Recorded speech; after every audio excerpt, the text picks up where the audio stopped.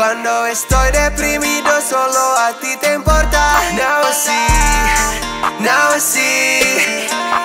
Kita memang ditakdirkan untuk bersama